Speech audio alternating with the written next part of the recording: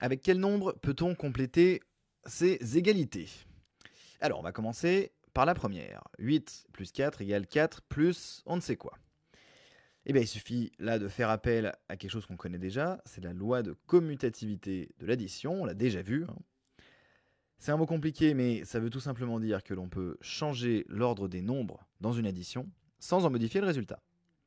Donc ici, ça veut dire que 8 plus 4, c'est exactement la même chose que 4 plus 8. Donc on peut écrire 8 ici. Deuxième exemple.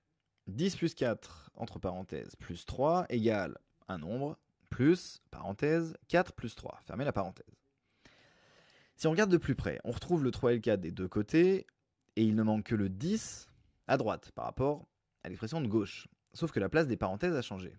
Mais ce qu'on sait d'après la propriété associative de l'addition, c'est qu'on peut placer les parenthèses comme on veut, sans que le résultat ne soit modifié.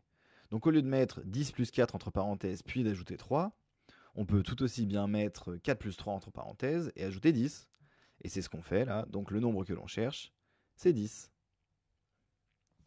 Dernier exercice, 9 fois 6 égale 6 fois quelque chose.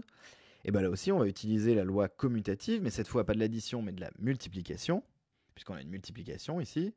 On peut modifier l'ordre des nombres que l'on multiplie sans changer le résultat final, ce qui veut dire que 9 fois 6 est bien égal à 6 fois 9, donc on peut écrire 9.